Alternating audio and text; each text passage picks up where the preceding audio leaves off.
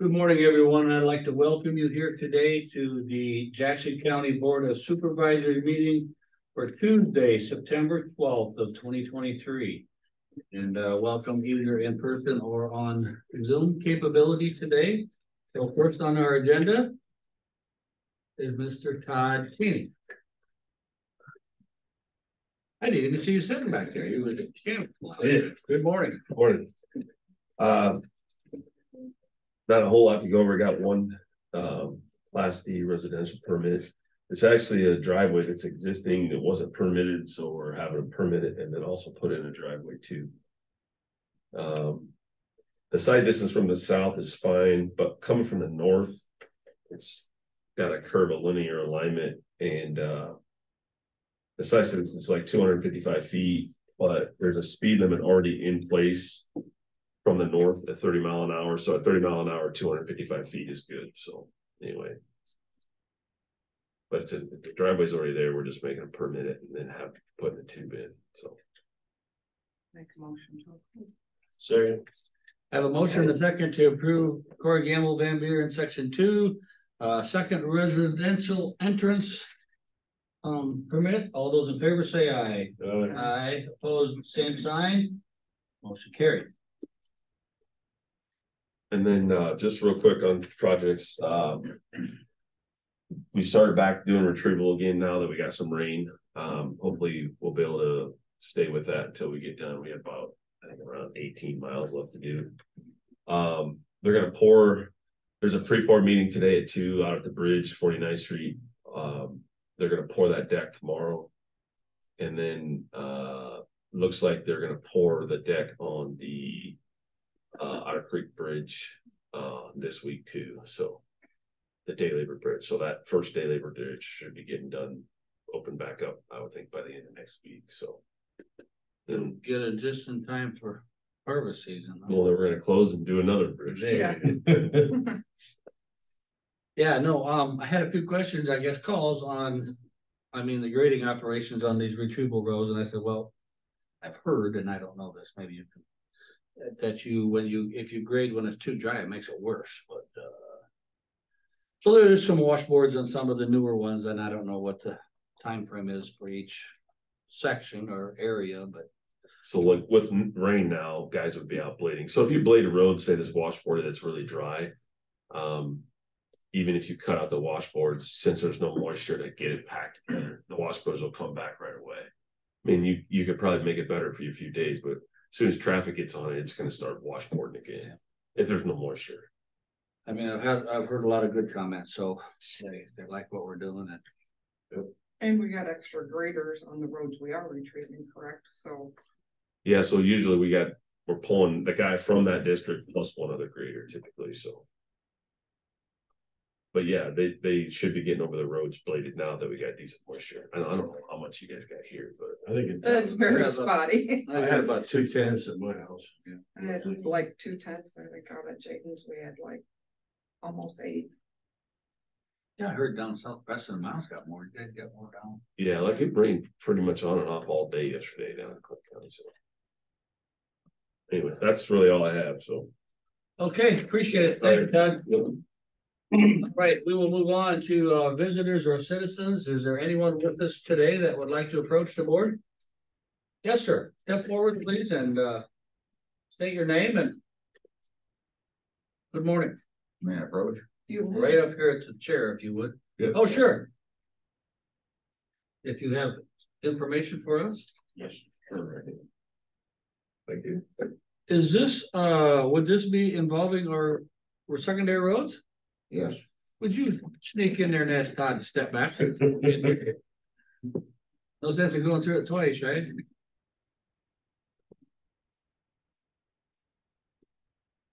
Todd, we have a visitor here and I thought maybe you might want to be involved in, all involved in this discussion, so. That's what he gave us. All right, good morning. Would you state your name and, Uh, Don Bales, I live at five seven one eight two Seventeenth Street, Sabula.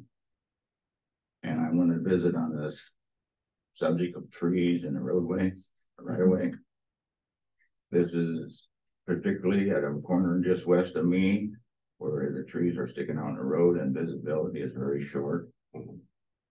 And I have asked the workers numerous times to trim them.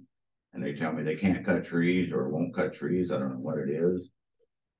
But they're line of sight trees and I feel they should be cut. Last year I asked two guys to cut them and they said they couldn't cut them because.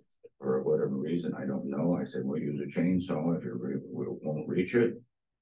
They said, well, we can't cut them. So I went and cut two trees out so we could see, but they've grown up over the year now a lot more. And last week, my grandsons were leaving school and had a wreck on that. Because someone pulled out of a farm drive, higher fencing pulled out. And said the trees in their way, they could not see, so that's why they pulled out in the road. Well, yeah, I guess to me, this doesn't look like trees, this looks more like brush to me, if I'd call Well, there's it. brush and trees. It definitely looks like it needs to be maybe trimmed back some. Todd, you Yeah, wanna? I don't, you, you probably don't know who you talked to, did you, or anything? Yes, I do, but I don't, I don't wanna mention names. All right, what's this road right here? That's Seventeenth Street. Okay, what's this? This is five hundred fifty-nine. Five fifty ninth Avenue. Right. so- Okay, that's. Yeah, so this we should be able to mow with the, Well, so you guys. Brush do a lot cutter. of ditch- we got a boom mower that would reach that easily, so I don't know. No, I don't think it will. This, Maybe it will, I don't know. this isn't, that looks like it's right next to the road, no? This is the problem, this tree up here. This is just a little brush along the road. Oh, so it's like you can't, this is farther away from the intersection, this, think? this is in the intersection, but it's a tree that's growing up. Okay, so this one and this one, okay. This to the east, this is, this is going west. And this is going east. This is the same intersection. Okay, I'm sitting in my vehicle and I take the picture. okay, so this is looking to your left and that's looking to your right. Okay, I got you. Okay, I think we can take a look at that, right?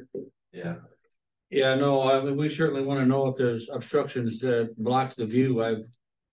I've, uh, you know, even on Highway sixty-one, if you're coming out of Swingle, you, you cannot see north when them cars come south. There's six or seven different road signs and brush and it's just impossible. Well, to- that- My concern, well, it's a neighborhood conversation quite often about all the trees growing up in the ditches. That when they mow, sometimes I've seen where they mow up to the tree and then go around it. And they could easily mow over it, Mhm. so. I would like to see that concern taken up a little bit.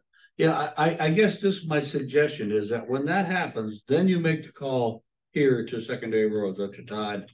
Or to the engineer's office. Well, I've spoken to the more, more people. Uh, I guess you wanna approach the boss instead of, Call, call the, call Well, I. I don't like to do that, uh, I, I, I understand, we're not Well, stepping on and something here. depends on the size of what the brush is. Mhm. I mean, I'm not out there to see what the size truly I know we, is, we got but the brush mower, but we also bought a Bobcat or a, a skid loader that has a mower on the front. Um. We've been recently taking a little bit more active role in trying to open up the line of sight and road right of ways and. And, and cleaning up the ditches. So this is something I definitely wanna know about, but uh, okay, well. I- usually the first step. Is just call in and say, hey, you know, we got a tree in the right of way, they'll go out, take a look at it. But the ditches are really growing up with trees in our area. And we're addressing, uh, you know, I guess, I can't particularly say what area the most, but we've been doing some active spraying. And, uh, some extra, you know, whether it be brush cutting or tree removal. It's hard to keep up with six hundred fifty miles of roads on both sides, but it's gravel roads, so it's, uh. But we know, we have been, and yeah, when you have issues, though, please give us a call or a secondary Well, I road. know from years ago, they used to always cut brush in the winter and cut them out. Yeah, and I can't say what the policy is, but yeah, so cut and brush typically in the wintertime, it just depends on. A lot of things, but like how how often you're plowing snow, if the ditches are full of snow, so when, you know, if if we get a mild winter and we don't, we're not out plowing much and the ditches aren't full of snow. then You're gonna get a lot more brush cut, it just depends, you know, it's, it's depend, but yeah, we're still doing that. Well, I had two previous people, they both retired now, tell me they were not blanking tree trimmers. Hmm. you know. So, Well, I guess, I mean, here's the other thing, John, I know you don't wanna stir the pot too much, because you live, live with these people and, and, you know, you play cards with them and whatnot. But the point is, is still, we have to know about it, we can't do anything about it, we don't know about it, I mean, we, We certainly talk to our employees without causing, Well, friction. Like you said, I don't like to stir the pot too much and cause too many hard feelings. I get it, Yeah. I get it, but And we really- still have a job to do, so. And you, for the most part, there are a lot of trees and brush in the right of way, and I think. What, I was talking to uh Mike, and there's a few spots where we're gonna get prices for. A contractor to come in and clear the right of way of trees, where we got, this is be spots where on hills. Where the, like in the wintertime, it never opens up because of the canopy and we have a hell of a Right. So time getting get the the, the snowpack off. So we're gonna get prices to clear, those are like big trees, those are like taking timber out. But like this stuff here, when we're cutting brush, we need to prioritize pretty much just the intersections because. We don't have enough time and manpower to do every road mile, but we could probably, we need to focus our time at the intersections for sight distance. And then the straightaways and all that, you know. We'll, we'll keep mowing, but. You know, we don't have enough. The enough mower time. only gets so far over too. then. Yeah, So so you like, a but raw arm race too, right? Right, When, yeah. Right. a boom mower, yeah. Right. And those can only take down certain size trees too. You wouldn't wanna go out there and start whacking down big trees with that, but. But they can take down a, I think they say up to like a four inch tree, I think, in the mowers we have. So I also we'll wanna definitely read- take a Look at that intersection. Okay, thank you very much for your time. I also want to reiterate that we also have a noxious weed ordinance that states that landowners should maintain. Brush and other species of brush and, and material between the fence and the right of way. So it says that in our noxious weed ordinance that landowners should be responsible to maintain that. And we always did when we were on the farm, but as you know, and I know, Donnie, you go down the road nowadays, most fence lines are not even maintained. You couldn't Right. you couldn't go in and make a fence because they're not, they're rode up in brush and trees and. Well, I'm just we can, saying. we can, we could go on here. for a Yeah. long time talking about fence. But I appreciate, yeah, we certainly have a concern. Had, I had to hire a bulldozer to clean mine out so I could put a fence in. Yeah. So, I mean, I understand that there's a lot of problems. No, I, I, I firmly believe intersections should have top priority getting cleaned out, so. for Yeah. business. And I have seen them going out with the brush mower Oh, yeah. recently, you know. Kind of now that it's been drier and they couldn't really blade, they've been. Going out with that. Now, what areas it's been in, I mean, obviously Jackson County, we got a lot of areas to cover, so. I don't think it's really been down in your area there down, so. But. As you're going home, if you notice at that Delmar Blacktop, they kind of hit. Right in there, that intersection, so eventually, hopefully that'll be what you. See a lot more of on, on our roads, once they get that out and going. Thank you for your time. You bet. Thank you Appreciate for your it. Thanks for stopping. All right, Julie? Julie Furman is our drug-free communities project coordinator. Good morning. And Chelsea Herber is from ASAC in Cedar Rapids. Okay. She's joining us as well today. Sure. Are you there, Chelsea? Hi, yes, I'm here. Okay. Good morning, Chelsea. Okay. So, You should have a copy of the contract between, I the county and ASAC for the grant year starting September thirtieth. As well as a spreadsheet that broke down what the expenses were. Um. There is an increase, um, everything's kind of gone up. Um, do you, I, do you have any questions or, our goal is to sign the contract for services for the next grant year.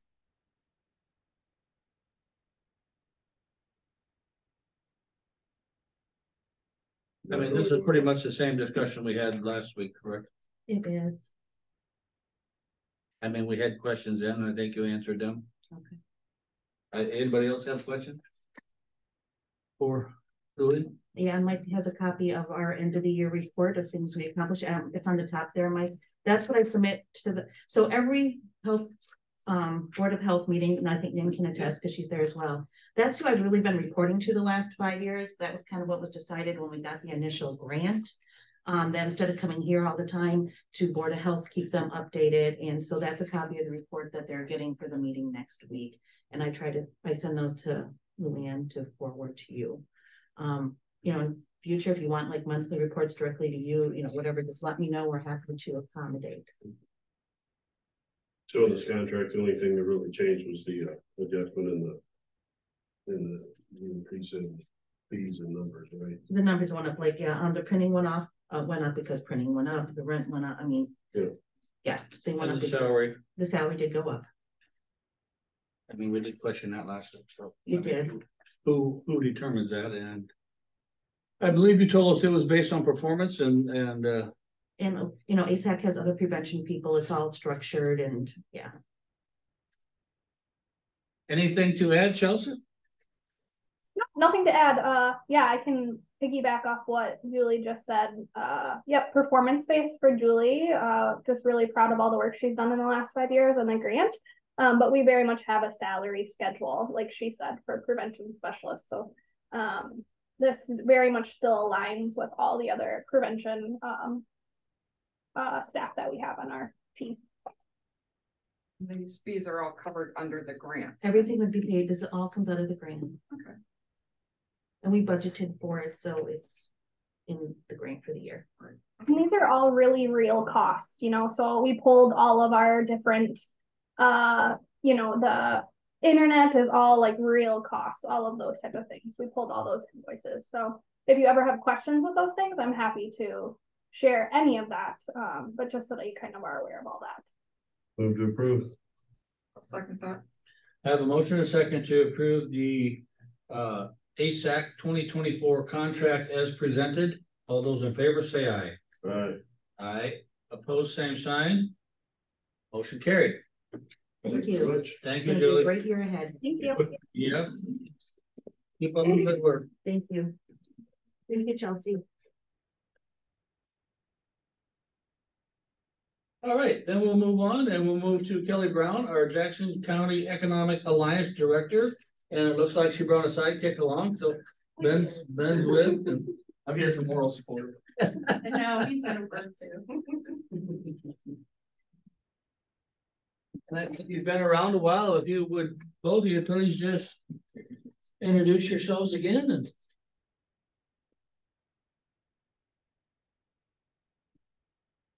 Well, while Kelly's handing that out, uh, Ben Davison from the Jackson County Economic Alliance, I'm the Assistant Director.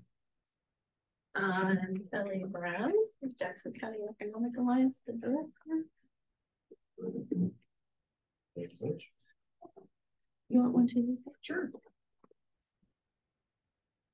We are here today to give you a brief update, highlight of things that are going on.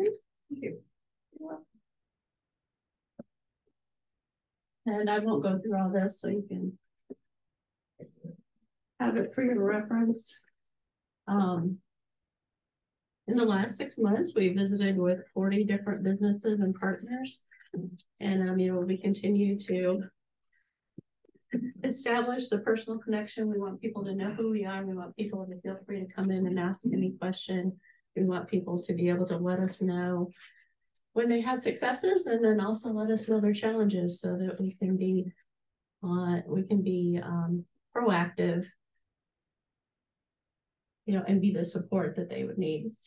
Um, we do have some news and I apologize because I know that we try to copy you on a lot of different emails, but we also know that you have a lot of things coming in. So if some of this, you're like, I know this already, then, you know, just have this be a refresher.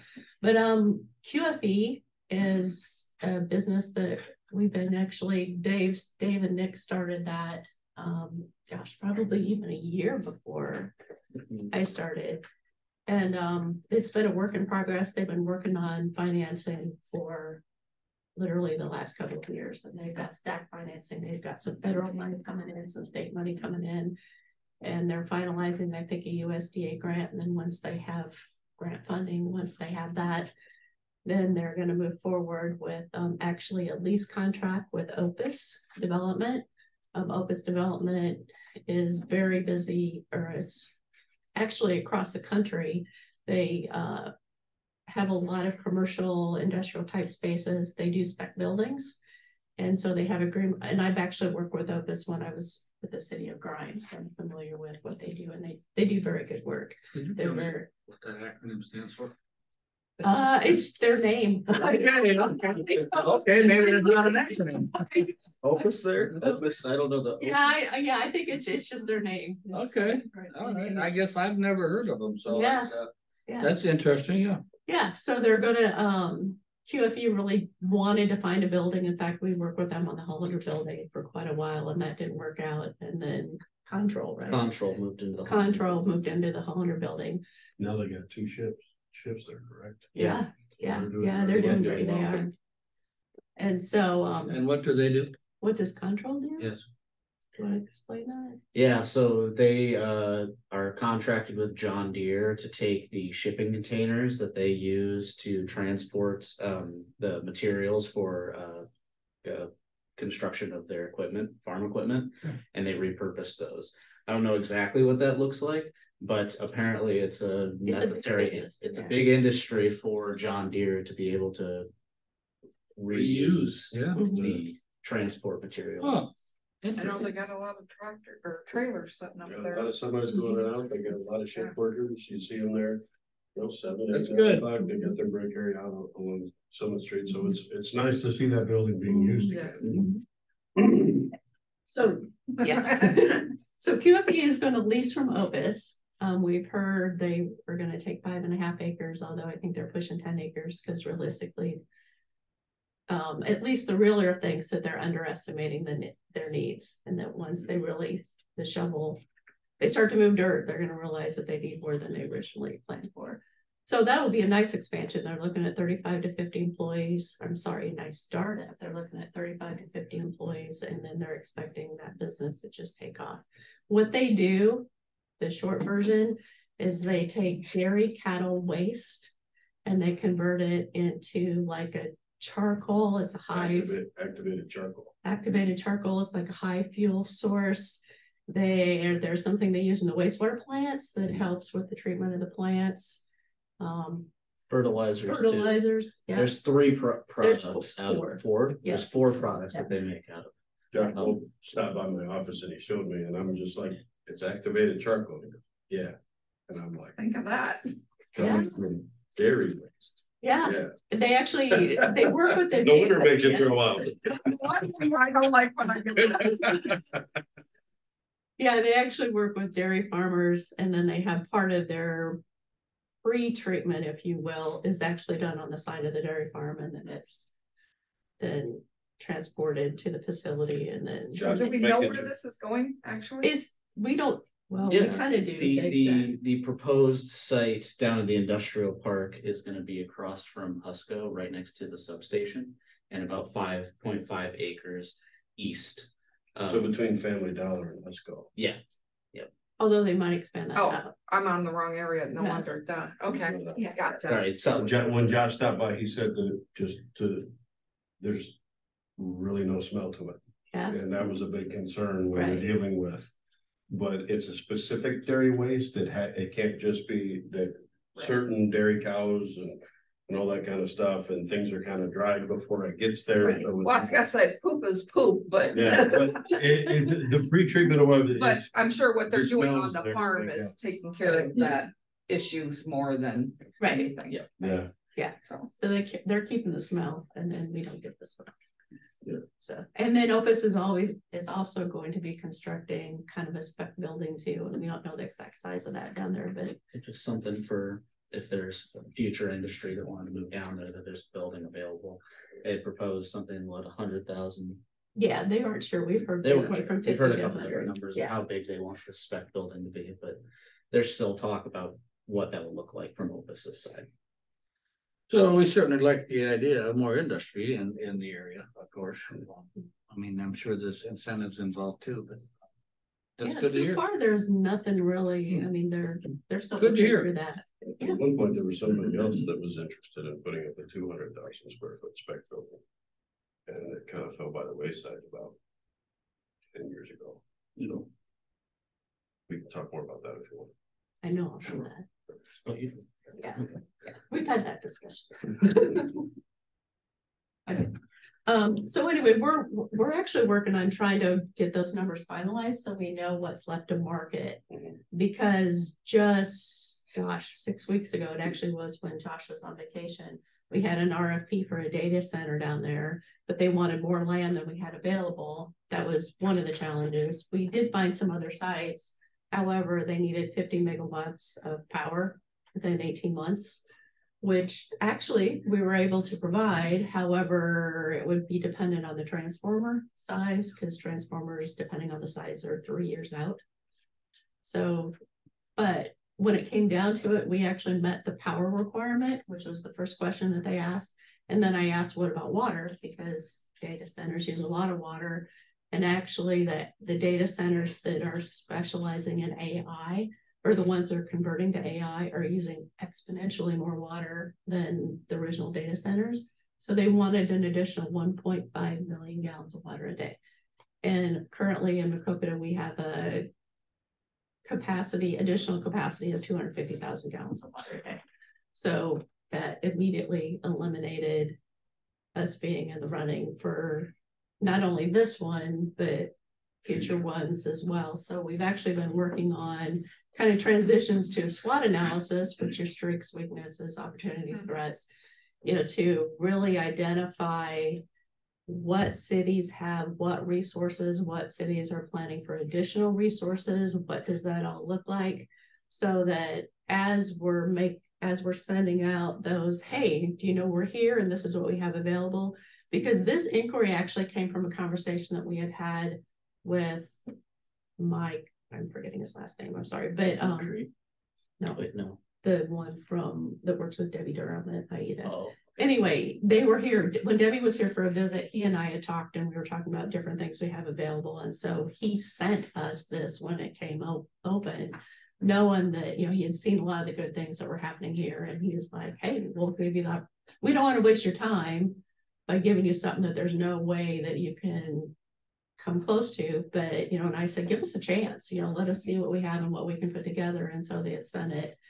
So anyway, because of those conversations, we want to continue, continue to market, not only that, but also know what it is we can market in certainty. So, so we can be very responsive to these proposals and also know that maybe we can't do this now, but in three years, Maquoketa is planning on, or Bellevue is planning on, or, you know, whatever the case is, or, you know, REC is building additional substation here and they'll be able to do this and, you know, whatever that looks like, we just So- need to really know. So in a data center like that, when they're saying they need an increase of like one point five million gallons of water per day.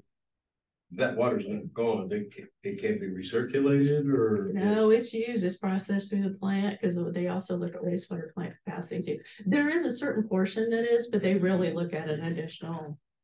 That's what they're saying is, we need to be able to give them additional one point five million gallons of water a day. It's crazy, the amount of water that, I'm assuming is it for like cooling or? mhm. yeah, for the whole processing, then. Yeah, and evidently, like I said, the AI whole. It makes the servers run, you probably know more all about this.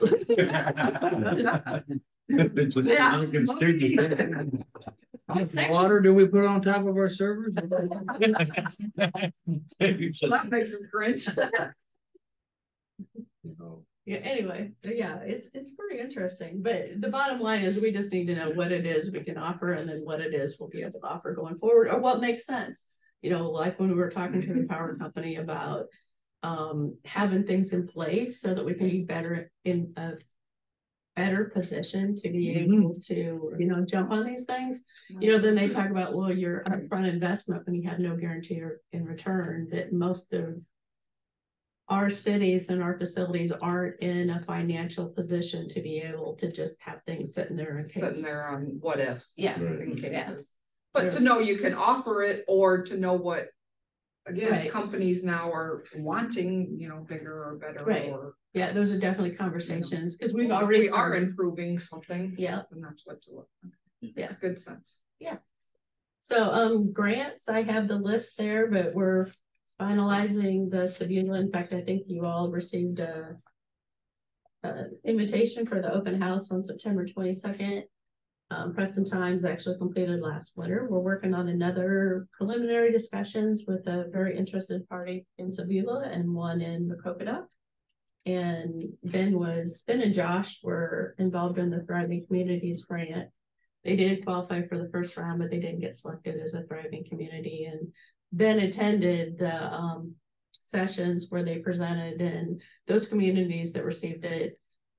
Maquoketa has has advanced leaps and bounds with everything that, as you know, that's been accomplished in the last five years to put themselves in a position, but unfortunately, there's just other cities that have gone above, I I wouldn't say above and beyond because they've actually met the qualifications, but you know, that have really invested more, especially in like the public-private partnerships or nonprofit partnerships and things that, you know, where they're investing their money and their time and helping communities, as they say, thrive as well. So, but knowing what that looks like, then again, Mm. when we know more what they're looking for, then we can better position ourselves so that the next time these things come around, we can be in a position to qualify.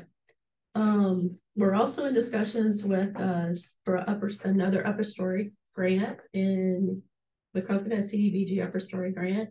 Um, I think you all were aware and involved in the, we actually had twenty-five letters of recommendation for a rural child care market study grant. So I'm hoping that that in itself just wows the grant writers, the grant reviewers. I and say, yes, Because I was reading the paper this morning and Dubuque Community Schools are taking the Medline building Mhm, and making it a childcare Yep, place. And there's, and they're, I mean, it's gonna, with a tune of like three million dollars in expense. Hmm. So I've said this for years, that the school system needs to get involved with, the- with the child care because otherwise it's just not gonna float, it's just not gonna happen privately, probably. I'm just wondering how they can do that without a bond or without it.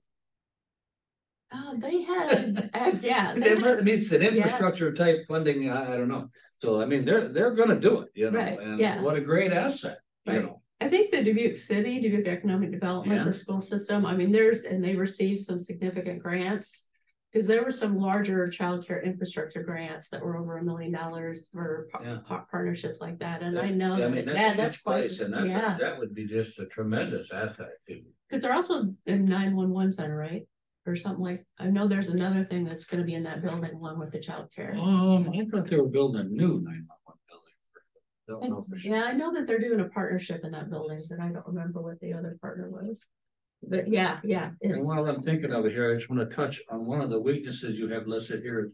Public transportation, so I mean, we just had an RTA meeting last week and, and of course.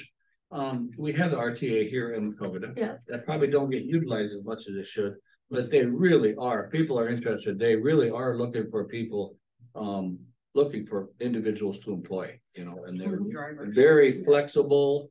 Um, about their hours, you can work anywhere from ten to thirty hours a week or whatever you, whatever you desire, you know, and.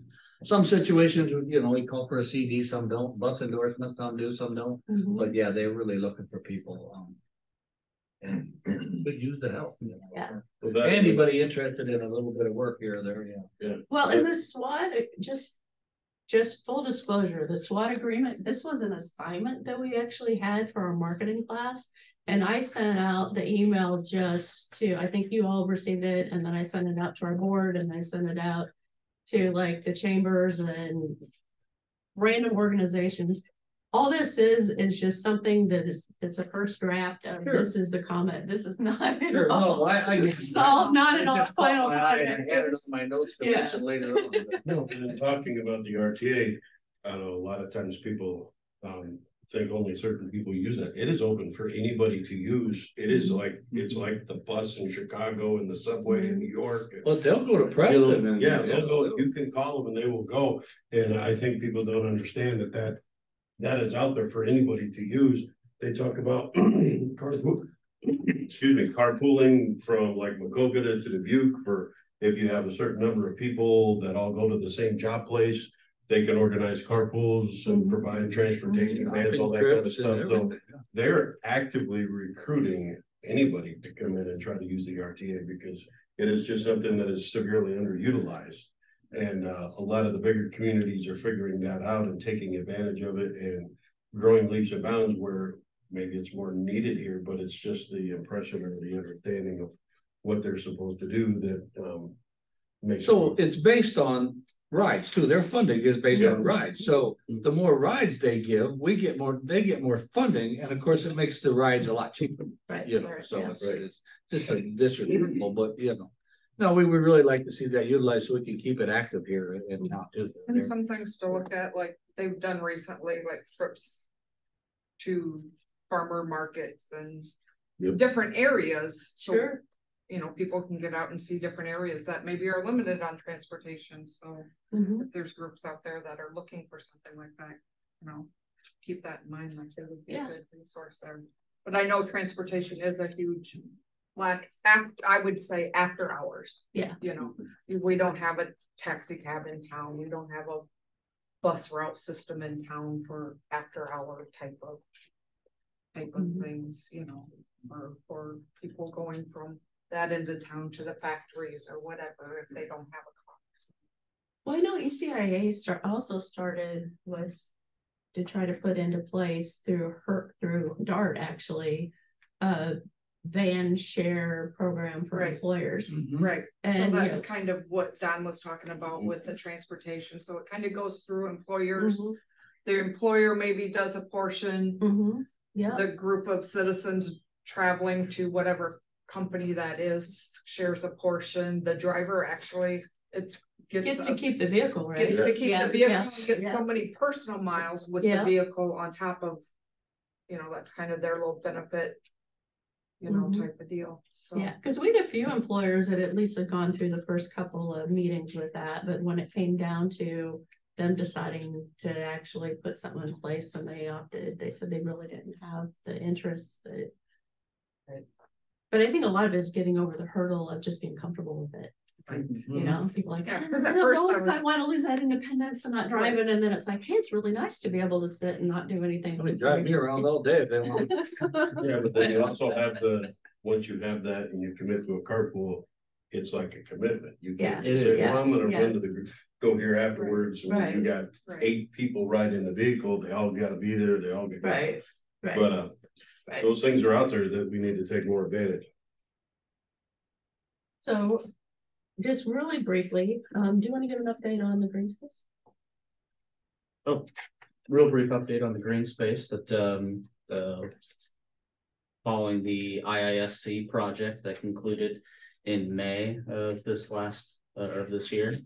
Um, the uh green space redevelopment subcommittee. And a fundraising subcommittee have formed to um finalize the um uh look and features of the green space. Um, and we're pursuing with seeking funding from uh different uh donors. That uh in the coming months, we'll have an idea of what our working uh capital will be. For applying to grants as well as um. A a scale of the project that we'll be able to um advertise and sell to the community at large. Um, and really get the ball rolling on con- construction and development to start there in the green And space. just so people know, that's kind of what we're, what you're kind of looking at is like a band shelter. There's gonna be a band shell um for performances and then uh a bathroom, a restroom and storage structure as well. Um, So I've seen several different drawings of that. Is it going north? That's the ultimate question, It's yeah. gonna be, it's gonna be, it's gonna Gonna be be on the north, north, it's gonna be on the north. Yeah, there were a series of um uh surveys that were done. Yeah, I see. Yeah. And this year's. Experiments and year's surveys. music, they kind of changed it around if people noticed that, and that was the reason They reason. did some behind it, tests Yeah. Which was a very good, good way to try to. Structure out which way The um, works best. The committee You has might think it works good until it actually gets up there and then. You don't wanna have a building in the wrong spot. The, the committee has done their fair share of due diligence and, um, community outreach to determine what would look and feel the best, and we've pretty much got all the major details decided on, now it's just a matter of finding those donors and, uh, getting the, um. We got a lot of two by fours. in there. Oh, that's a good thing. So. Did the Parker? Moving on. Moving on. Well, you know, I mean, I, I think they've had Once good this turnout. goes on, Yeah. so people know. that will be moved. Um, I think they did, have had good turnouts this summer. Yeah. Yes. Very good turnout. And we're especially excited, I mean, it's, maybe it seems like it's a little bit off for us to be as actively involved in that, but tourism and. Anytime we can bring anybody in, we, they have the potential of falling in love with where we are, and the percentage of people that move because. They've seen something that they've been interested in, you know, they visited somebody that, um. Or they visited a place, sorry, like, uh, everybody's looking at, um, anyway, the bottom line, you get what I'm trying to say, is Sure. people move, they, you Yeah. gotta visit it and then you love it and then you figure out how you can get there. And the survey that you have, it's the, this thing, it's talking about how, um, people are actually shifting again. There was a shift during COVID and even before that people were wanting to move to where every place had the amenities and then they figured they could work anywhere. And that shift is changing again and people are moving to where they want to work and they're moving to, um, where there's affordable housing and that the basics of life are where they live versus the want to haves now. That whole thing is shifting. So as that whole thing is shifting, then, you know, the whole focus then becomes more, becomes less on not on quality of life, because quality of life is important, but it's more so, do you, are you affordable community? Are you a place where people just feel safe, you know, and we have all that. Now, obviously, we have to work on housing, we have to work on childcare because we don't have either of those or to a very limited extent. So, um, and they're also willing to move for jobs, which is a great shift again, because before they weren't. And so now we can, we were nervous about marketing from the standpoint of anything we bring in is competing with everybody else who is already hiring. But now that people are willing to move for jobs, then that isn't as much of a concern because if we can bring the jobs, we can, we can bring, we. Housing, I mean, all that will come together, that's sort of the chicken or the egg thing, but you gotta have one or nothing happens. You know, when we're stalemate, see, keep saying, well, we'll wait until, we'll wait until. No progress is made, and so we're over, Can't go anywhere if you don't start. Right, I believe we're over waiting until, and now we realize we just gotta. Keep, yeah, keep moving, so. Anyway, that's, if you have, always, you know where to find us, and everybody's got our phone numbers and. Valley Cascade Road, I know where to find you. Literally. Thank you very much. You're welcome. Yeah, thanks Kelly, thanks Ben, and uh keep us updated and Yeah, And if you think of anything, say anything, whatever, you know, just Yeah. always say, what about, what about, we're completely open to. Yeah, appreciate it. suggestions. Thank you. Thank you. Thank you. Thanks again for all your support. We You bet. appreciate it. Love this back. It's all, so that was all pretty good news, actually, so. Yeah. Good job. Um, I don't see Lori here yet. Uh, Lisa, would you want to, do you have much business? Do you wanna start or do you wanna? How would you like to proceed? No, I, I can, I can take, uh, take the floor now. I just need a motion to approve the minutes of the September fifth, twenty twenty-three board proceedings. As written by Auditor Smith, excuse me, and authorized publication in the official newspapers. I'll make that motion. Second, Motion and second to approve the minutes of September fifth, twenty twenty-three board proceeding as presented. All those in favor say aye. Aye. Aye, opposed, same sign. Motion carried. I need a motion to approve and authorize the auditor's office to issue warrants and the publication of the claims listing in the amount of six hundred and nine thousand, seven hundred and sixty-nine dollars and one cent. Make that motion. second, A motion and second to approve the claims in the amount of six hundred nine thousand, seven hundred and sixty-nine dollars and one cents. With the note that over four hundred thousand was in secondary roads for bridge material, um, rock and fuel. Um, them three items added up to a little over four hundred thousand, so. We are moving forward and improving. Yes. Um, where was I? All in favor, say aye. Aye. Aye, opposed, same sign. Motion carried. Thank you. I need a motion to approve invoices for seven thousand two hundred eighty-seven dollars and forty-seven cents to Midwest Construction Consultants, Inc. Sixteen thousand one hundred fifty-nine dollars and fifty cents to Peak Construction. Twenty thousand ninety-eight dollars and twenty cents to Hometown Plumbing and Heating. Twenty-six thousand six hundred dollars to Crawford Company. Fourteen thousand seven hundred and twenty-four dollars and ninety-nine cents to Stickley Electric. hundred and twenty dollars to Tri- Tri-State Porta Potty three hundred and sixteen dollars and sixty-eight cents to Republic Services for a total cost of eighty-five thousand, three hundred and six dollars and eighty-four cents. And authorize the chair signature on the project cost recap for the Jackson County Fair and ISU Extension, the four H Outreach Center for the month ending August thirty-first, twenty twenty-three. Make that motion. Second. Motion and second to approve the invoices as presented for the Jackson County Fair and ISU Extension Building. All those in favor say aye. Alright. Aye. Opposed, same sign. Motion Carried. So I also have the bids for the flooring project at the Andrew Jackson Fair facility. Um, I can open them now, or if you want, I will yield to Lori and we can come back to me. I would suggest that we yield to Lori so we can have a discussion and not take these women's precious time. Thank you. And I know they're busy. We, it's crazy. We have big, everything's a big project on top of everyday work. So we have Okay, big- three so big projects. We are joined by Lori and Ruth from zoning for an update and uh business. So, uh, we'll Good start, good morning, thank you, and we'll start at the top of the agenda, our agenda, if that's okay. Uh, so the top is action, um, on alleged nuisance violations and possible enforcement action for Leisure Lake. We have not sent out our legal notices yet. We. Well, we had been discussing with the county attorney about that because we were over the threshold for small claims court. So John has said, let's just cap it out at this amount so we can keep it under that six thousand five hundred. Cause during our niceness of trying to give him other notices and, you know, a, a nice letter, we're cost, well, we're every day that they're in violation is costing a hundred dollars a day for a fine. That is what our fee is set up for. So in the niceness, more fines have been accruing. So Dave, or Dave, John has decided that we're gonna just cap it off at five thousand dollars. So we can stay under that small claims threshold. So when we were working on some of these, two of them that would need to get those label notices. Have made some progress, but you know, they're not, they don't have any extensions or anything like that. Um, one was a burnout building. Where the rafters were all caved in and that was in violation.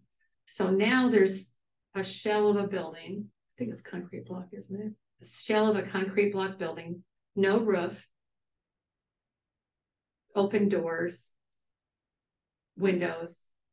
With all the other stuff like piled inside, tires and other junk that we can see. We did not get out of our vehicle to go look to inspect what was all in there. This is just what we could see from the road. So now that one and one other one, one other one also has a violation. They're kind of like putting a structure up without a, permit, but they've taken old garage doors and are just sticking them on post and throwing the stuff inside of it to camouflage it. So in my eyes, these are still violations because they're the tires are still exposed to the rain, the mosquitoes, still great places to harbor uh critters. Uh, I just wanted to make sure that you, that we were saying this the same way before we went ahead and pursued this. Okay, just my opinion uh on a little bit of thought of it. I don't know if I have an opinion or can certainly say. Um, when you talk about a nuisance, and I know in the past, the county has allowed. Individuals in rural areas to put up a fence or a barrier so they can't see this. This isn't. Now, if you're talking inside a structure. I, I'm not gonna dictate how someone lives or resides inside of their home. I, I, I'm not doing that. Yeah, that's not It's a, their home. it's a, is it, is it a physical uh burden to the community or a nuisance in violation of eyesight? Uh, there's a fine line where you're walking there because I know the county in the past has allowed fences to be put up to deter from the vision of it, so. Yeah, that's one I'd like to talk to you guys about someday. Yeah, and I can't, that was way before you, any of us, so, um. Yeah, I, I, I don't know if that was the right decision or the wrong decision, I can't say, and I- I'm not, you know, but again, if it's, if we need legal advice as far as. What is a nuisance and what is defined in the code or our ordinance or whatever it may be. That's just my opinion, I, I, I don't know. My only concern would be the safety concern as far as. like that. Per se, the brick structure, if it's got op- open doors and that's a safety issue that people could be hurt. That would be my concern, but if it's just how they're, you know, if they can close the door and keep people out. Yeah. Whether that's closing a door or putting up a plywood door. You know, my concern is to keep a little kid from wandering in there and getting. Hurt type of deal, nuisance that way. I guess because it's in a residential area, that could be certainly a concern, but there's also many, many areas and buildings in the county that are open. That you're not supposed to be on private property, so don't go there, but Correct, you but can't- you're in a, if you're in a residential area. It's different, again, there's not supposed to be really on your property, but you know, it is, a it is a problem. problem. So are we gonna encourage people to put up barriers to hide the crap? I'm just saying what went on Hide the- Well, in the this- past, so. Excuse me, I, I said this from the beginning, and I'm in favor of moving forward. But in moving forward, it can't be, this is a nuisance, generic, kind of ubiquitous, you Yeah. know, kind of undefined term. right, There has to be a specific violation when you send notices. It has to say, these are the issues that are wrong with your property and you must get these things fixed. So they can look at it and go, okay, if I move these tires, if I put up a window, if I do all this, and I get it done, I understand. That might not be everything, but it has to be a defined thing, because one interpretation always varies from another. they, that, that, the cases that we've addressed, that is addressed, but now we're just. Hiding them in an open air confinement, Have to take some investigation, I think. you know. If you guys wanna go on a little ride with me, I'd be more than happy to, and that way I can kind of point out some other things too. Well, I certainly just- think that we can do that, eventually, you know, look at things, I, I guess, again, it, it makes a difference of how it's defined. Either in the code or our ordinance, what it, was it specifically says, we can control or can't control. Yeah, and it's, For, like Don said, a specific reason, you know, Right. there has to be a.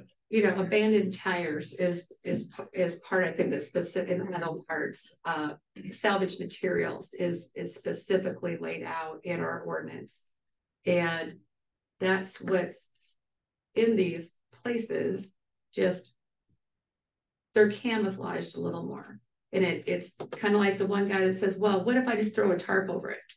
It's like you haven't fixed the problem. We just can't see it, but it doesn't fix the health hazards that, that go along with some of this stuff. So then you're talking public health, you're talking health hazards, it's not zoning violation, then it's public health to me. Well, part of the, the zoning does come around public health. I mean, the tires. is- Sure, I mean, is, uh, It's connected, of course. yes, there's But some. then I go back to, um, a silage pit that's got four thousand tires on it, you know, I mean, uh, I guess there's a.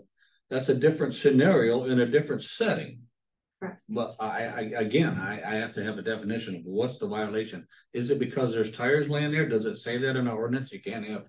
More than three tires or something like that, you know? Oh, it doesn't give a number, cause a one tire, if I was like doing Leisure Lake or say we get on to Fulton and Green Island, it wouldn't be, you have.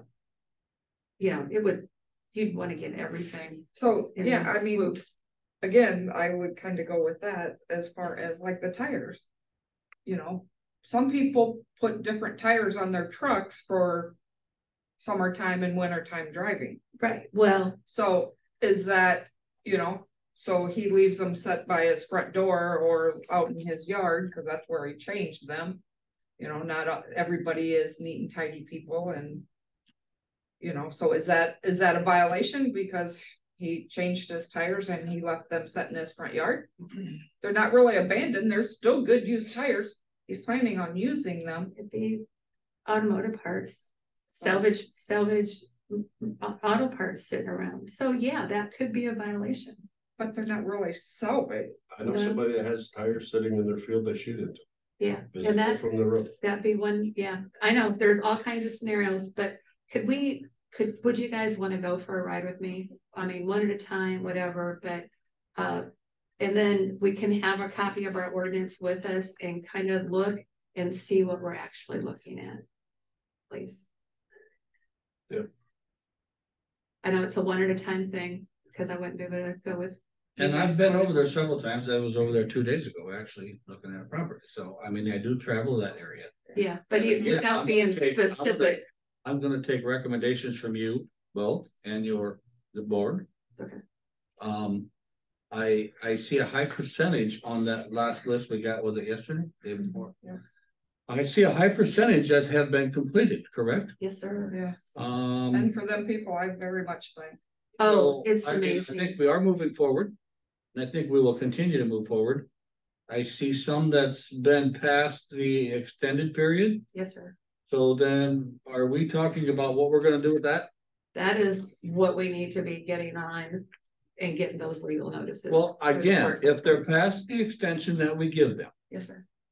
and they have not made any improvements. Now, if I see improvements, I said, we will talk and discuss. But if we don't see any improvements, I think we should move forward, yes. Okay, and we had talked earlier that if they were past the extension. And, you know, past all their dates, and even if there was improvement, there was. That was still, we were running with those notices. I, I don't, not so sure that we said that if there was improvement, that they're making an effort that they, we would reconsider. I guess I would like to see us move forward with the ones that have made no effort. Right. Let's start with them. Okay. And then we have, okay, I mean, I think that's a good place to start. Yep. They're not Is- even trying for versus those people that are at least.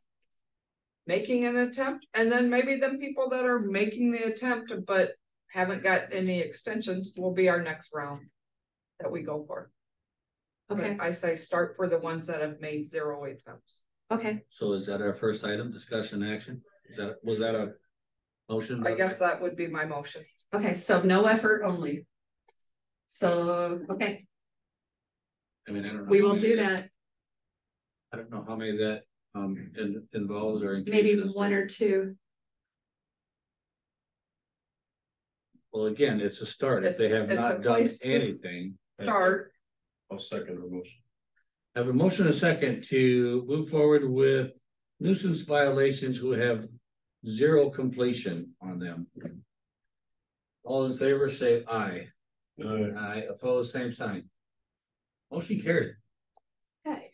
So the next one is the Red Edition minor subdivision. Uh, that is by resolution.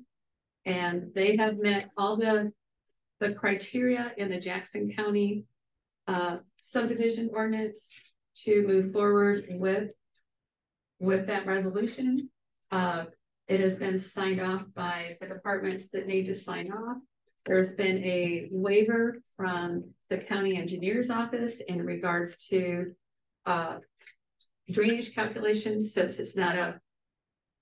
A subdivision with infrastructure, it's just a, a one lot split off a, off a parcel. and And again, Lori, will you explain the minor subdivision? a minor subdivision, and Lisa, correct me if I, if I do this not quite right, but. A minor subdivision is anytime there's more than two splits in a quarter quarter. So more, two or more, excuse me, more than two splits out of a forty acre. Quarter, quarter, So it'd be like they're going for their third split on that quarter quarter. absolutely, that's what this one is, Okay. and actually, it might be their fourth split on this one. I'd have to look at the map again. Am I correct in saying you're allowed four plus the original? If the original homestead on it, you could put four more on a quarter quarter without a major subdivision? If you could, minors. Anything less than that is a minor. because Anything less than four, yeah, Yeah, because these are repeated divisions. right. Yeah. On a quarter quarter. It, but if they kept them at ten acre parcels. It would not trigger the, the minor subdivision, because the other caveat is. That you don't count anything that's ten acres or greater, part as part of that split. Right.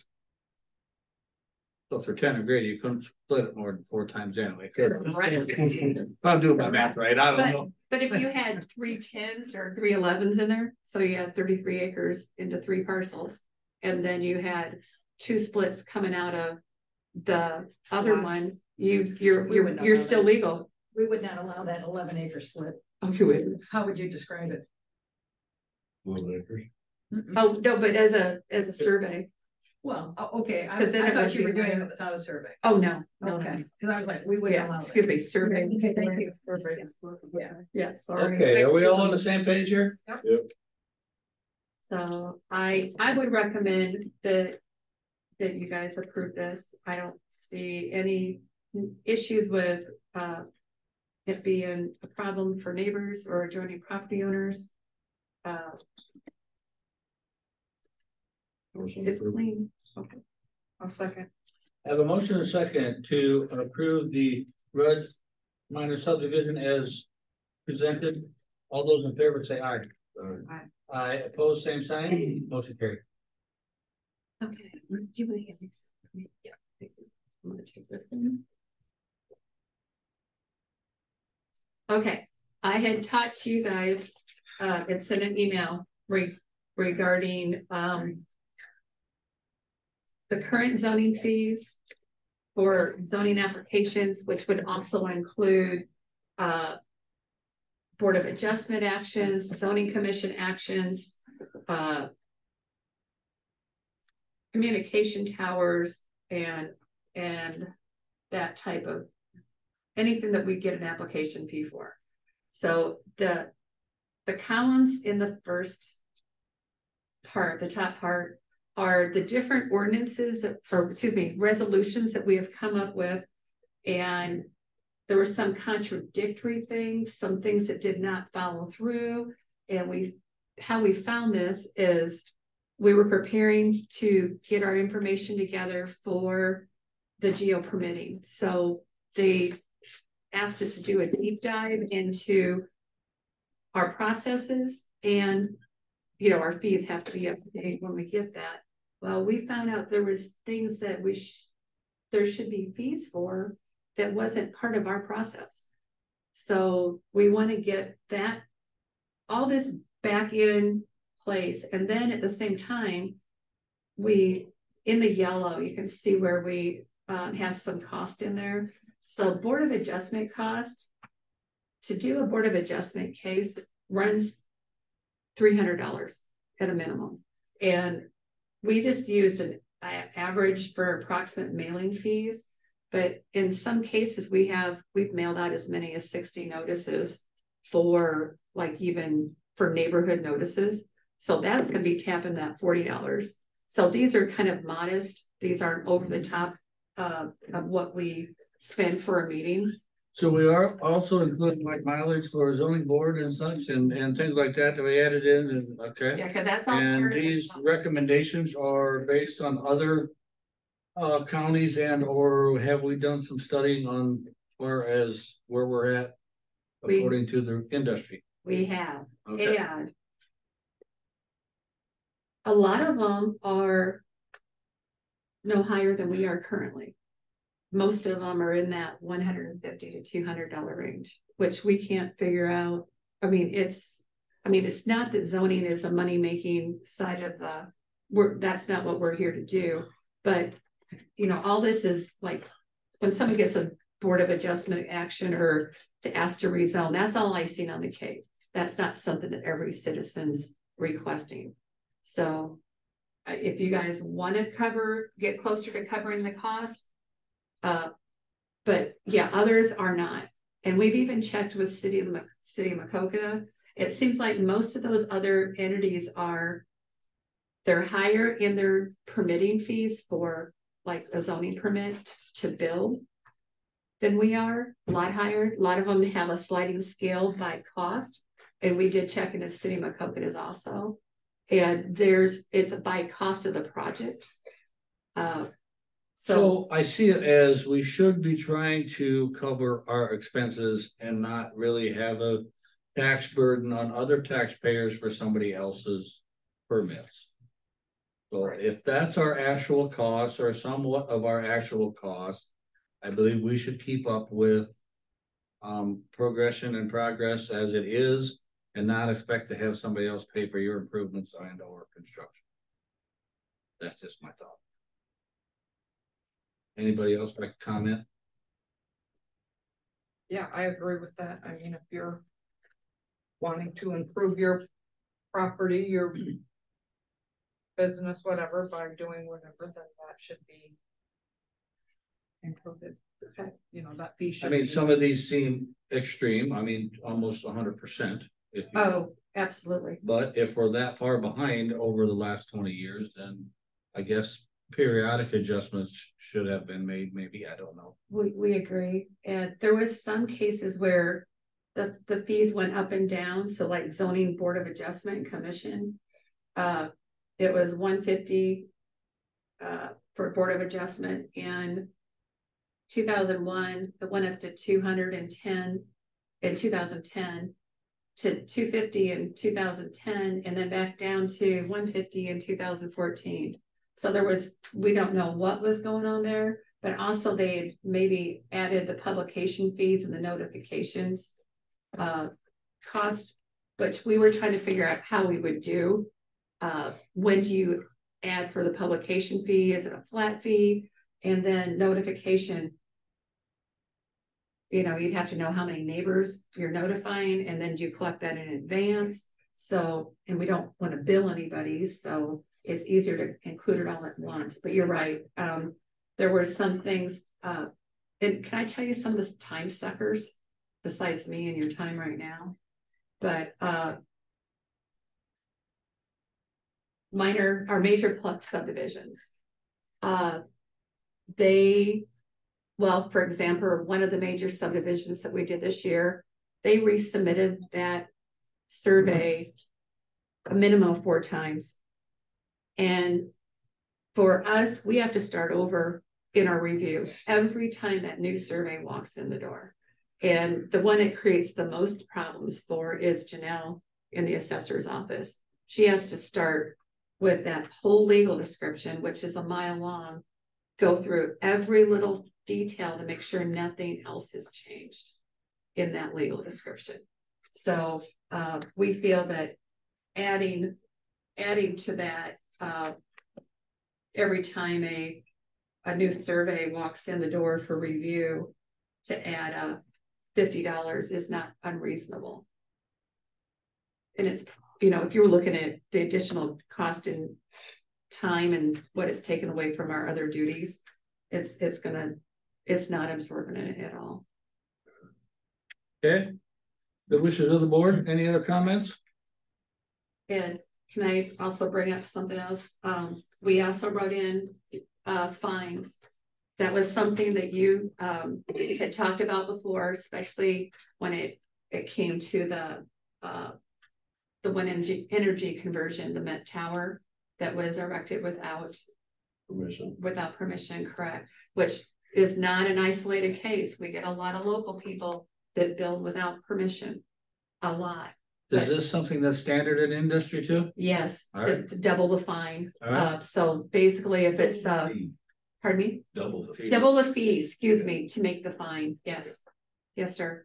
So that would be, so if they fail to get a zoning permit for a new house, the fee would go to four hundred dollars versus the two hundred dollar fee. If, uh, yeah, Got it. got it? So that Met Tower would be a sixteen hundred dollar fine. Uh, yeah, cause we called it a communication Fee. tower. It would be a fee. fee. Yes. Well, if they're, Yeah. so this is where all application fees would double if the project is started before the application was submitted or issued. So if that's a fine. Is that a sixteen hundred dollar fine? Plus the fee, eight hundred, yeah. Or is it just the sixteen hundred dollars? That's my question. I would say it would be the sixteen hundred dollars, because application fees will be double, Yeah. 'cause that is- For a fine. that would Would make. be double. To me, a fine is on top of that. Yeah, I get what you're saying. That, so if you're gonna fine me for doing something wrong, is that, Right. so just say the eighteen hundred dollars or the eight hundred All dollars? application fees will be. double. If that's the application fee is eight hundred dollars, if the fine is double. Is that sixteen hundred dollars plus Plus. then the application fee? We gotta figure out how to word that, because I, I don't see a problem with the way it's worded. Maybe rather than if it is- fine, it's a late application. Oh, maybe just say late. Late application It's fee, just a fee for not following the procedure. Yeah. so late It's application. still. That was just my question because. Hmm. do you want us to redo this and send you an updated copy and then vote on it next week? I'm, And that way too, if we find something that got overlooked, it gives us an opportunity. so I guess maybe discuss that wording also with With- legal counsel. Yeah, I don't I, I wanna- see what. You know, to me, a fine is usually In addition to. in addition the- to, Got it. so All right, where can we you're just- just wanting to. Action on this, Can, Motion to table till next week. if you could, thank you. I'll second I that. have a motion and a second to table, uh, the zoning application as presented. All those in favor, say aye. Aye. Aye, opposed, same sign, motion carried. There is one other thing on here I want to draw your attention to. Wind energy conversion systems. I'd like to hold off on setting a fee for that until we're closer to having an ordinance ready. We tabled it already. Okay, oh, well, here, I'll just bring it up on my next So thing. you then put with it on wind your next energy one and then we'll discuss it. I'll bring it up later. Oh, Yeah, bring it up later. Okay. Got it. Uh. So. Comprehensive plan. Uh. We.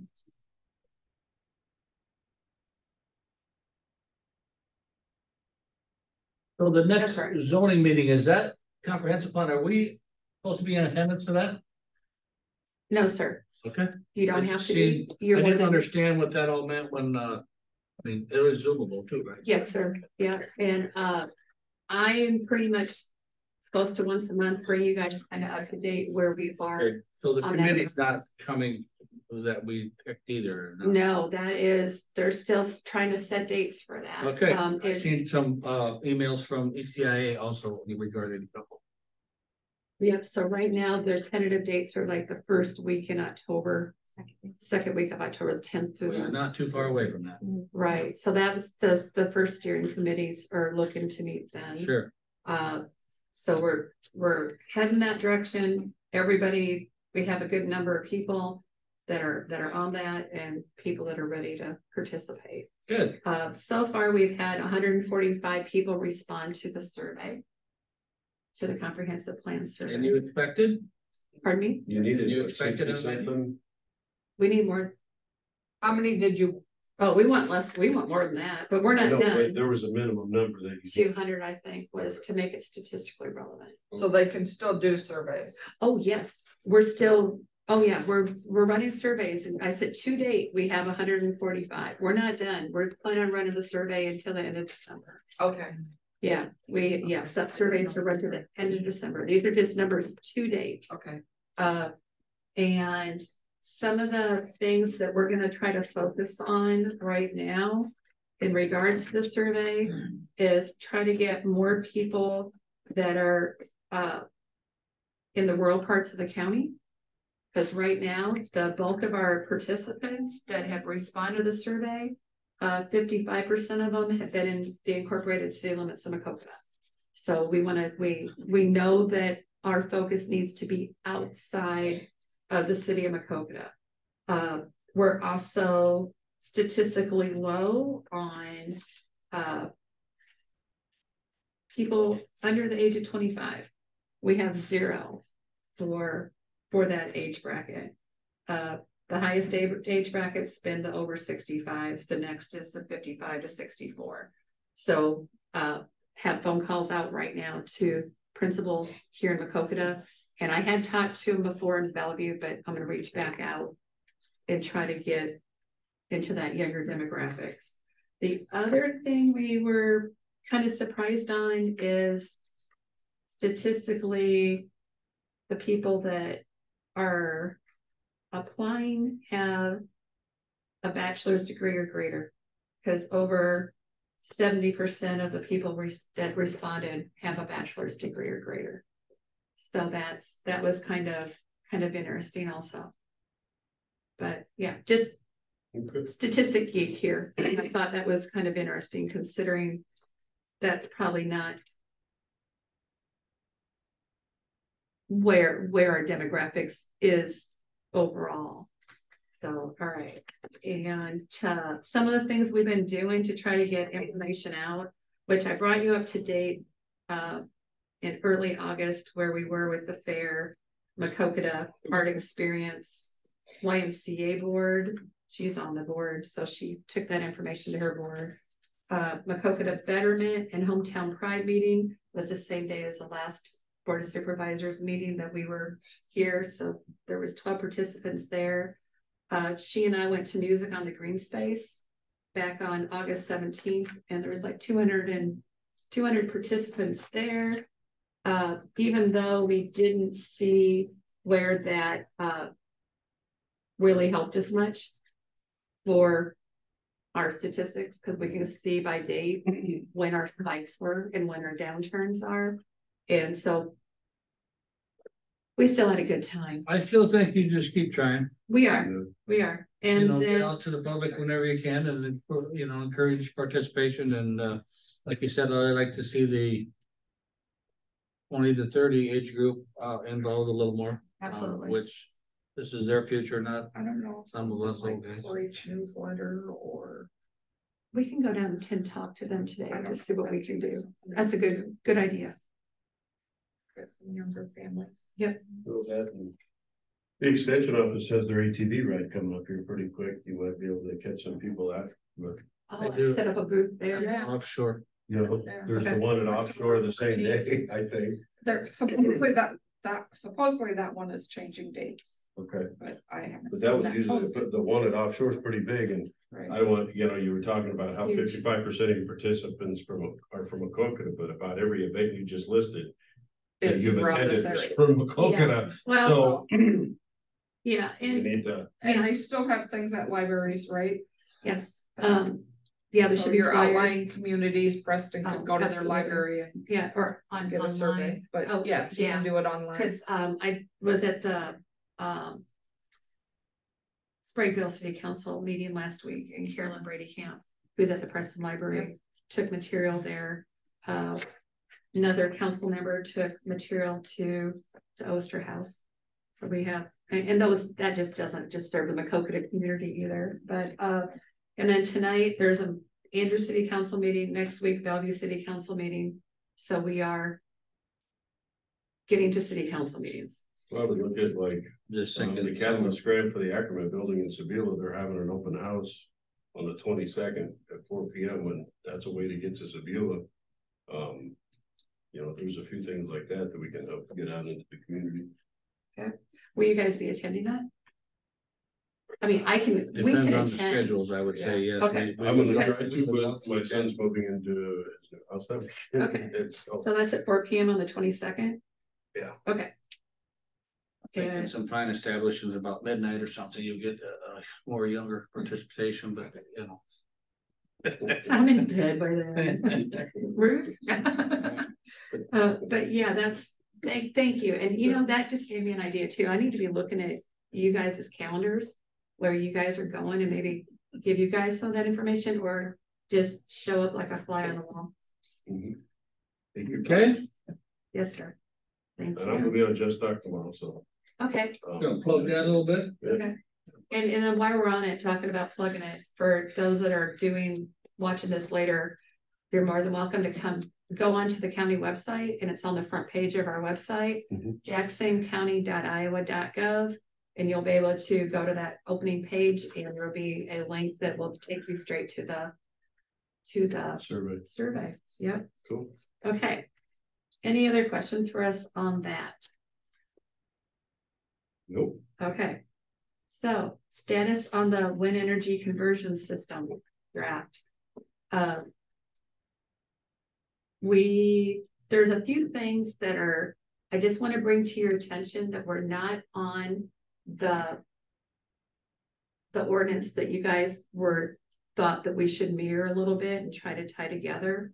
Uh, they, and not that I think it's. You know, over the top or any, a big issue, I just want to make sure you're aware of it. There was no tower height maximum. On that particular county's ordinance, Well, is FFA involved, or FAA, I should say, involved in regulating some of that? yes. Yes, they would be. And, uh. The setbacks from property lines was not, uh, is something I want to pay more attention to probably.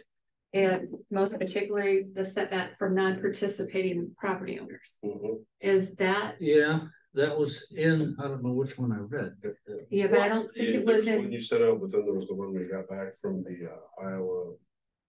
Iowa City person, or whatever, Yeah. some recommendation. recommendation. yeah, and that was, I think, part of what she brought up. Uh, on that, because that wasn't part of that Delaware County ordinance that we had, so if we wanna add that. Uh, cause we are gonna present the draft, a, a, a working draft to the commission. As new business next week. That Awesome. it has not come out yet, uh, Yeah, I'd like to see it. Okay, so do you? Do you what, do you believe that this is important to add those setbacks for non-participating? Yes, Okay. Yeah. So I can go ahead and look for suggestions for that, and then the same, uh. With, uh, from buildings and inhabited structures. Yes, yes, Okay. fall, I mean, fall distance is gonna come into play there anyway. yeah. Yeah, but some of them are much greater than the fall distance. Mhm. So, I mean, if we wanna go the minimum, we can, but if we wanna, you know, go further from like the non-participating property owners. Uh, yeah. I think then- put it in there, we'll look at the draft. okay, and then one of the other questions, what, if, um. Different counties have different, do this differently. Uh, who issues the permit? Is that an issue, uh, is it issued from the zoning administrator? And one of the things I'm just gonna just bring up to you guys, some people make it a special exception, uh, special exception use for everything. So it all has to go through the Board of Adjustment. Some counties have it go through a vote of the Board of Supervisors. Uh. I don't know, you know, could it become politically charged when it goes through the Board of Supervisors? Or do you guys just wanna write a solid ordinance and let it go through the Board of Adjustment as a special, uh, special exception use, or just, uh, was it the recommendation, if I remember right, reading through the, what the people from Iowa City said that it was better not to go through the supervisor? that's what my thought would be, write that solid ordinance and let it either go through the zoning administrator or make it special exception use for each project and have them go through the, uh, Board of Adjustment. If I you would say, yeah, each project's gonna be isolated to, I, I- you know, isolated to its own specific. I, I, I still think that even if we have the ordinance, that it goes through zoning permitting, uh, for oh, application. Yes. Then it goes to the Board of Adjustment, okay, and then I still think, I, I still think we should Ultimately, take, ultimately, take the recommendation from the zoning board and make. a well, decision. okay, let's, we got a zoning commission, which I wouldn't see this going to the zoning commission. that makes recommendations to the Board of Supervisors. We have a Board of Adjustment that makes the decision and it doesn't It come doesn't back come to the to board. Uh, we could make these all go through a rezoning. but we Um, don't have a zone particularly set up that it would need to. What would it be, how would you rezone it? Is there a category that this would then? we have to create it, We'd have to create it? yeah. I don't, I, I look at this, the special exception. You know, Somehow I feel like I'm okay with the Board of Adjustment making that decision, but then I also feel like. Somebody put us in the position to say yeah or nay to that. I, I, I don't know. But they put you in the position to approve the ordinance, and if the Board of Adjustments upholding the ordinance. Well, if our Yeah. ordinance is structured correctly. Yeah. It shouldn't have to come to us. Yeah, I, I would probably agree with that. I mean, not that we won't be aware of it.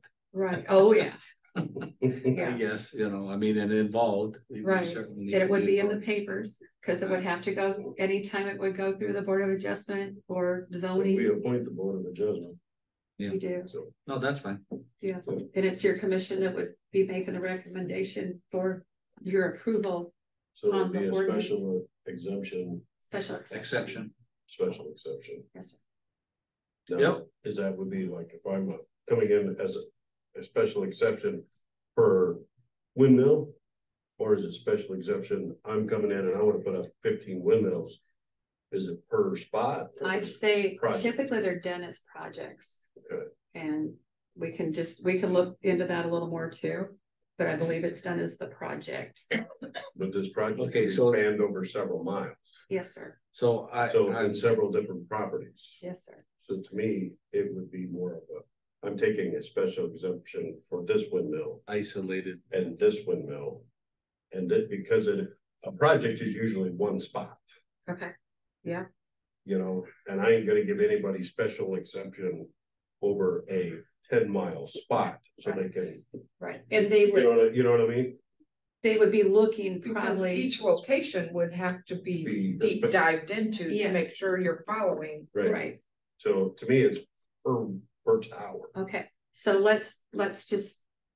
Look at it this way, so is it, if they're putting up ten towers, is it ten Board of Adjustment Yes. decisions? To me, that makes sense, because you, they're looking at each individual spot of land for fall distances and non, non, Right. you know. Because you're gonna have to notify. Whatever, if it's a five mile radius around each tower.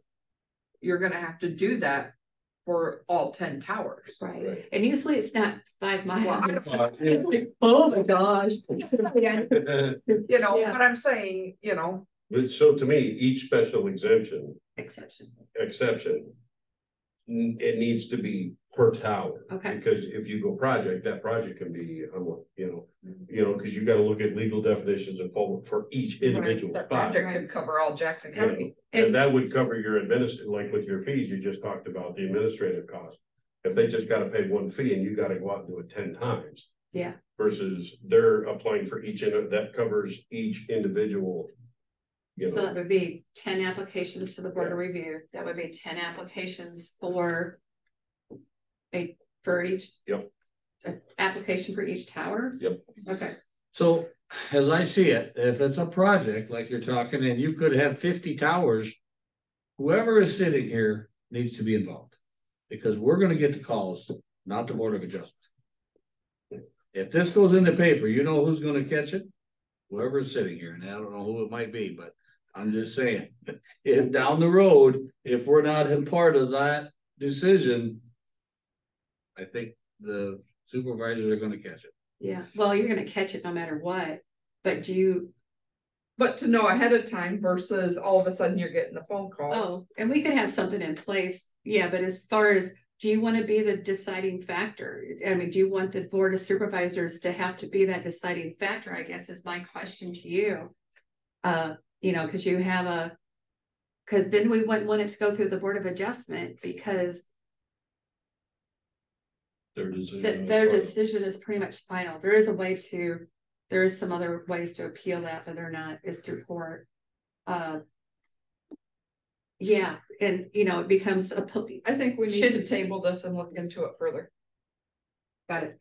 There you go. So we will Which is have, I would my motion. looking for You know, because again, get back to a project versus uh locations, because one project can cover Okay. several Yeah. locations. Taken on. We're gonna keep discussing this and bring it forward. That was basically an It's not update a- anyway, right? Yeah, okay, may, may I? Should I hold off completely then on what I have to, what I was gonna present to the commission on Monday? No, I think you plant the seed. Okay, So Yeah, get, no, I get think kind of you- their opinions and. Yeah, no, I like, think you get. I mean, you, You This get, is a, th- it's not gonna be any action, it's just like, here's what we're talking about. this is what we're discussion. talking about, what are your, Input. your points on it, what's Yeah. your inputs on it? Okay, And then maybe between everybody's inputs, Well, and I guess it gets back to what would it take to set up a known, another zoning. Thing, Don't- zoning classification. zoning classification, and then if you have a project like this. Spot zoning comes into place where if you have windmills all over and you say, okay, this one acre, we're gonna zone It's, it's, this. yeah, Can you spot zone ten or fifteen It- spots? and then over? what's that doing to other people as far as. If that's zoned Yeah. different. It- it might be just better as a special exception use under A one. okay, Is what my thought and not the rezoning, but, but then, but that would put the. That would, I don't want that to rezoning though would get it back in the commission's hand. And then be a recommendation to the All board. of super- for further discussion Yes, so there's just, with your board. oh yeah, it's huge. Big circle here. Okay. All right, I think we covered it. Cool, thank you. Good, Thank you very, yeah, very. thank very you. much. Have a good day, girls. Ladies, And Whatever please you get prefer. with me when you wanna go for a little ride. Good. I'm available today. I'm not. Okay, just check in. You don't have a car. Oh, You're not available. but I don't have a person. You, I mean, No, it's all good. okay, I was. Can we get a, can I get a copy of those two addresses? You know, sometimes it's good to go without, There's a couple for sale over there and I have to go back over there anyway, so just email them to me too, will you please? Okay. thank you. Very good. Thank you, can you email them to me? Actually, it might help if a couple of them sell, it might get improved, so. It's like, I can't tell you no, I don't think, but I can make you ask for a, a FOIA request. Okay. Okay, back to business here, and I see, Mike, do you wanna address the board? We're past, we went slightly went past the visitor section. But I didn't know if you wanted to address the board today? Or are you just listening? I'm, I'm just listening. All right, Alright, can you hear us? I can hear you fine. Alright, thanks. Enjoying every minute. And we got your emails on the upcoming CPR classes, and we appreciate that, and, uh. Uh, Glasses. EMT EMT classes. classes, I'm like- sorry. Gonna be a busy winter. Yeah, that a boy, that's why we got you. So just so everybody knows, we are offering an EMT class. Mike, if you wanna hit on that, EMT and EM, EMR. EMR. Yep, EMR is, uh, um, it's a new level of first responders. So most people know that as first responder and EMT. So we are hitting, uh, both of those classes. So we'll be teaching four nights a week, um, throughout the county to meet everyone's needs. Awesome. Yeah, hopefully we can get some, Looking Get to some help volunteer in your communities, yeah, good classes to take. absolutely, always comes into play somewhere. Well, we appreciate it, Mike, thanks for being here. Thank you. Thank you. Uh, All right, so are we back to you, Lisa? Becky just walked in, do we want? I- I Lisa, Lisa was long before Becky on my okay. agenda. I'll, I'll yield to Becky, because I think there'll be some That's, uh, that's discussion. more of a work session. Are you here to visit, or are you here I'm to? here for one quick thing and then work session later. Okay. Okay. Lisa, you're up. Thought she was yielding. Are you, I was yeah, gonna yield to Becky since she was here. we joined If you want me to, yeah. Becky from uh, Human Resources, joined us. Good morning. Good morning. I just have one quick thing for you. So the Civil Service Commission for Jackson County has three individuals on it, two of which the board appoints, one of which the county attorney appoints. The board appointments are two-year terms and six-year terms. We just had a six-year term of Richard Sherrard expire August thirty-first. So I am here today to ask for discussion and or reappointment of that position.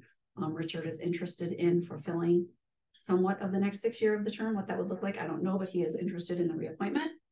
Um, I, I would say if there's, has not been any issues and everybody is. Um, okay with the reappointment, I mean, we've talked to law enforcement and, and mhm. whoever concerned and. So moved. One second. Motion is second to reappoint, uh, Richard Sherrard to the Civil Service Commission, uh, for a designated period. As presented, all those in favor say aye. Aye. Aye, opposed, same sign. Motion carried. And that will be for a six-year term from September first of twenty-three, ending August thirty-first of twenty-nine.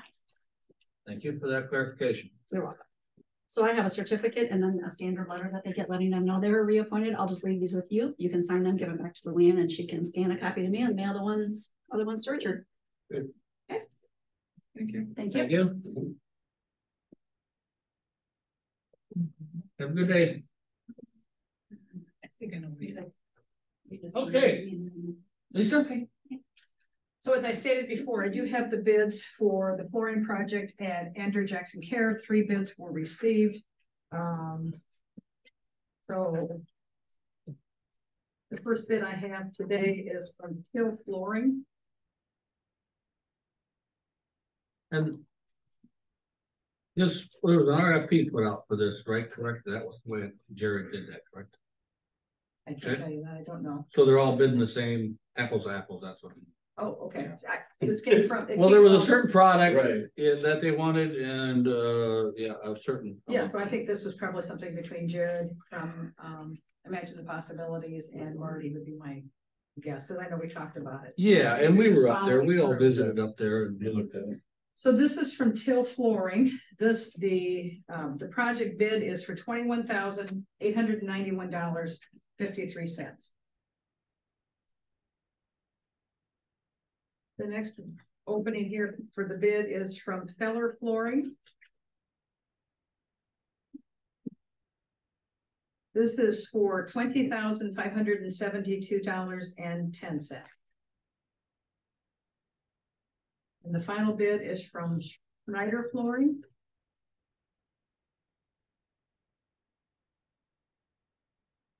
This bid is for seventeen thousand, seven hundred and thirty-one dollars and fifty cents. Um, does the state, I guess, in, in the bids, do they state the material are being used and to tear up and all, all the above? So the last bid that I opened was from. From Schneider Flooring. And, um. It does state in here disposal by owner. Um, they're talking about twenty-seven hundred and fifty square feet. Um, they're talking about some adhesive. Uh, vinyl cove base. uh, More cove base, it looks like. Installation of the flooring, installation of the cove base. And there also is a tear out fee and a floor prep fee Included, included. okay? So that's from Snyder. Schneider Flooring. This is from Feller Flooring. He uh has down for the product installation, tear out, dumpster fee, shipping fee, glue, skim coat, install the skim coat, moldings, cove base, install the cove base with glue, and to grind five bad spots out. For his total quote of twenty thousand five seventy-two ten. And was there a square footage there included? There is not. And so a dumpster, I would guess would be disposal? I would say Is there amount included in that dumpster? two hundred and twenty-five. Okay, so that'd be minimal. Um, for, if we included that in the Schneider bid for our expense, because it said we had. Right, okay. So this, the first bid that I opened was from Till Flooring. This is for a vinyl plank flooring. Um, looks like two thousand six hundred and fifty point four three square feet. He talks about some transition material and labor. some Sorry, what was the square feet? Two thousand six hundred and fifty That was point 100 four feet three less square feet.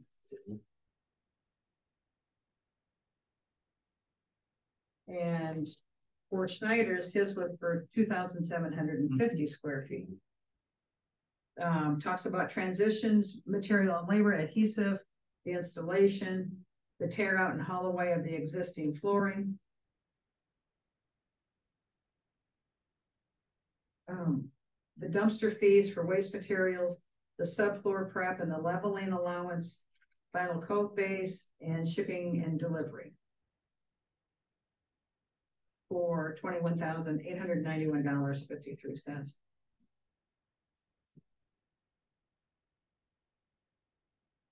I guess the only question I would have, uh, that maybe Schneider did not address was leveling, and I don't know what that is.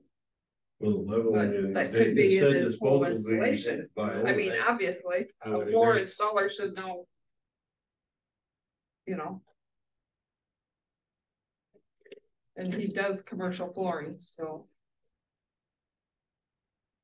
I'm Well, I assuming he just didn't spell. It Well, it out, says disposal by owner, which would be us. right, Is uh also dumpster rental and all that included, or is that something that we would also have to include? Is that eighteen point five? Yeah, but yeah, that, to me, that's a trans state, transfer station fee to, to take the material. But do we have to rent dumpsters and all that kind of stuff to put it in, or? I don't think the dumpster fee is gonna be three thousand dollars. Two twenty-five. Hmm. There was dumpster fee was two twenty-five, Yeah, but what's the, but, yeah. Uh, do you want, do you want time to review these? yeah, As you mean, take a recess Can we take or a is recess the and look 'em table over? till, that- I'm sorry? Can we take a recess at this point and walk them over? Yeah. Let's, um, do you have other business, Lisa? I do not. Okay, Well, we got. Luann, Luann, Yes. What? Yeah, I'll say, what one of the things, Luann?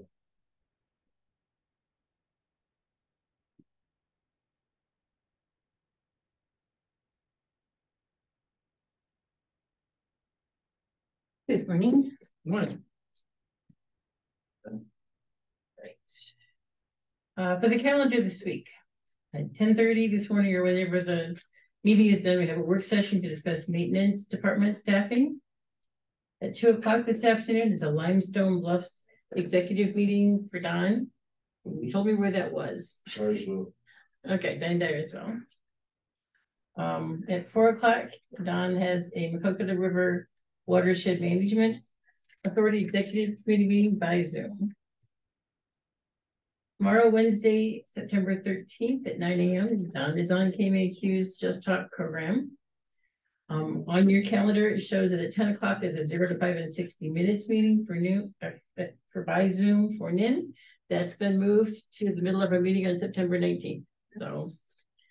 Um, four P M is an early childhood Iowa board special meeting by Zoom for NIN. At six thirty is municipal league for Mike, and where are they gonna have that this time? I don't think I've gotten a I have notification. not got a So maybe that's a tentative one. maybe they- information on that yet. Okay.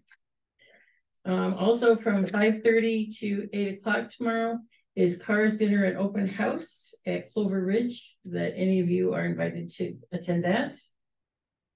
Thursday, September fourteenth at ten AM is an Iowa HHS council meeting um, by Zoom for Jack. Um, at noon is a Jackson County Area Tourism Association meeting by Zoom um, for any of you, but Mike usually goes to that. At six o'clock is Limestone Bluffs RC and D's thirtieth anniversary dinner in Cascade. And any of you can attend that. I assume Don's going to attend. I don't know about the rest of you. Just make sure to RSVP to Stephanie if you are going. Um, Friday, September fifteenth at ten AM is the seventh Judicial Department of Corrections meeting in Davenport for NIN. I think that was the one that was moved from the, from last week. Monday, September eighteenth at one P M is a Waste Authority of Jackson County meeting at the transfer station for Mike. At three P M on Monday is the Regional Governing Board meeting um in Davenport for Jack and alternatively for Nin. Seven P M Monday night is the Together We Build meeting for Nin. And also at seven P M is the Jackson County Zoning Commission meeting um in the community room or by Zoom for any of you.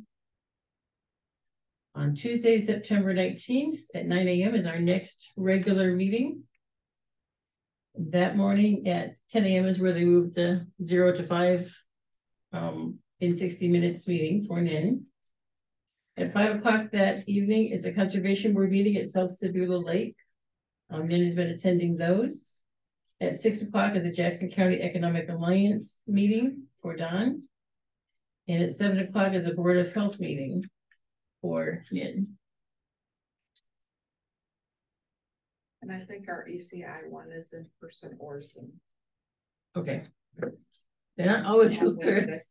Okay. All right. Um.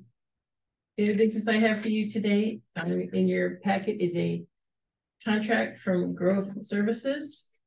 That's um a maintenance contract that we have with this company for the care facilities wastewater treatment plant. So this is something that we have had every year since that was built.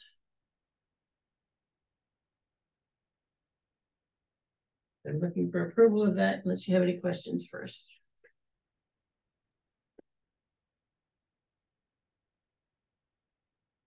Did it go up from the last time? I think a little bit. It is a yearly inspection that we have to have completed, the septic field. So moved. Second. Have a motion and a second to approve the road services contract for Andrew Jackson Care Facility as presented. All those in favor say aye. Aye. Aye, opposed, same sign, motion carried. Thank you. Um, did all of you see the letter from the city of Maquoketa about the uh, Communication Center Advisory Board? meeting. It's talking about um dispatch. Nine one one dispatch. Uh, we have two places, the the supervisors have two places on that committee on that board. So I don't know. It's been So I long think since I they seen met, something a so- month ago or better, Yeah. yeah. So the, Um, their This meeting, is, this is a board that's not met for years and years and Correct. years, if I'm correct. correct, And we discussed it years, years ago. So, Yeah, I did, I did see it. So whatever comes about it, I guess we'll proceed and yeah, that meeting is on October fourth at six P M if. a Couple of you, two of you would like to attend that. I'd attend it.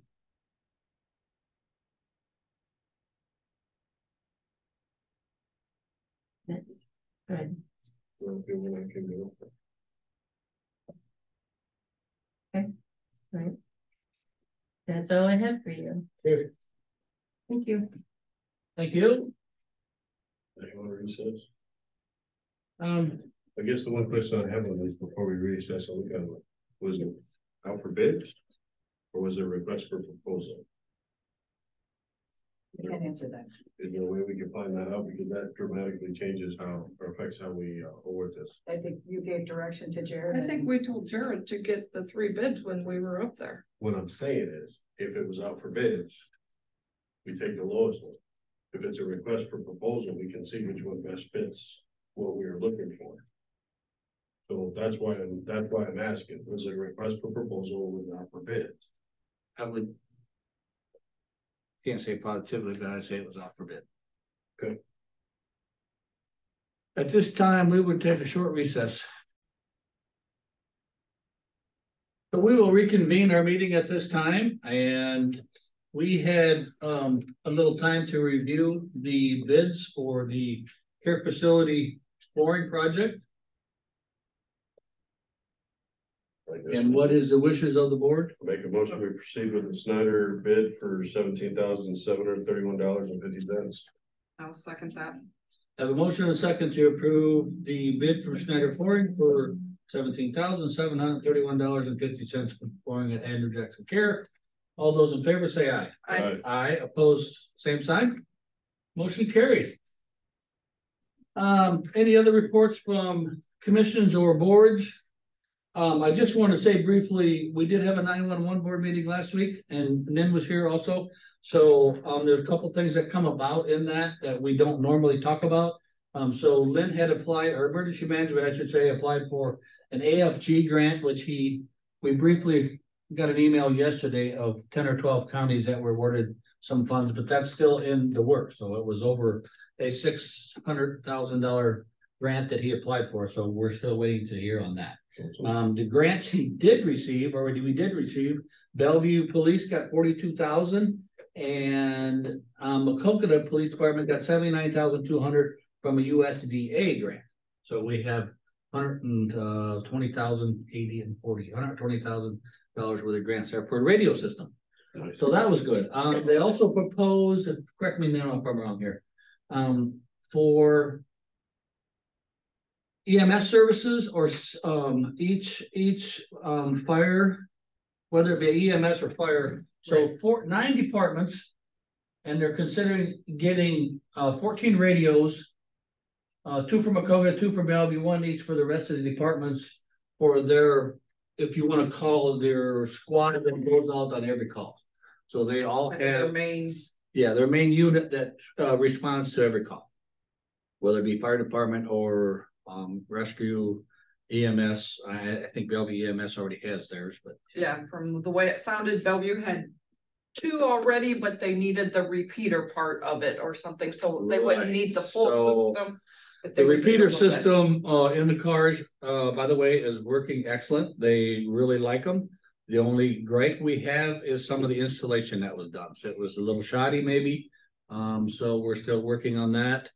um, to to uh to correct maybe some obstacles so that don't get damaged, or components don't get damaged, I should say, so. Yeah, I mean, all good things from the radio system, heard good things, they're they're liking it, they're liking the way it works, um. I guess maybe the installation was overlooked a little bit, maybe as, as far as how much it would have cost or how they would have done it, so. Uh, live and learn, I suppose, if you wanna call it, but.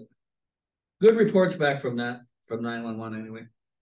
Last Thur- last Thursday, I had two meetings at eleven o'clock and I did manage to make them both, or at least listen to them. Um, the, uh, Mississippi Valley, uh, uh.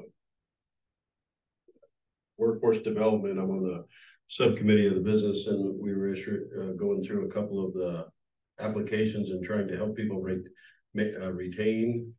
Some employees and stuff, they, they apply for grants or money through um, the business committee trying to help that one of them was doing a train the trainer program to kind of help beef their people up so they can do more training to keep them energized. We did a couple of those grants. Um, the other one was the, the Jackson County tag and ECIA is really happy with what's going on with down at the senior center with the, the new tours that the, the volunteers have been organizing. And they're really pleased with some of the participation they're getting. They're hoping they can encourage that and keep it growing. Um, the farmer's market was well supported through, uh, um, the, uh, RTA. And, uh, everything seems to be going pretty good. And again, as we stated, RTA is looking for drivers. Yep. So, um, if you're looking, maybe some retired people And out there the or key- young You people. know, it's like full-time or almost full-time, Yeah, I think the key no- is, uh, really flexible, yeah, Yeah, I mean, you you, can- whatever you desire. And they're willing to train. Eight hours, a- eight hours a week, eight hours a month, whatever kind of works into your schedule, they're, and they're willing to help you. Get the licensing that you need to drive for them. Yep. Um, Iris again is kind of still moving forward, they're hoping to get some of that started here shortly. They've got all their ducks in a line that way, so they're going forward that way. Um, ECIA, as I mentioned in past meetings, they're looking to hire somebody. They're, I believe, are reaching out. They did some interviews and are reaching out to a candidate to make an offer, so hopefully within the week here, we'll know. Um, if that offer was accepted and kind of be moving forward. With that personnel and our personnel that was leaving is gonna stay on and help train just a little bit. Outside of her other job, so. That was a nice. Cause I got a lot of different. Forms and all that that you gotta fill out and send in to the government, just like anything else, and that deals with the early childhood. Stuff there, so. That's about all I had. Okay, any other business before the board? Motion to adjourn. Very good. Have a motion and a second to adjourn, all those in favor say aye. All right. Aye, opposed, same sign, motion carried. Meeting adjourned.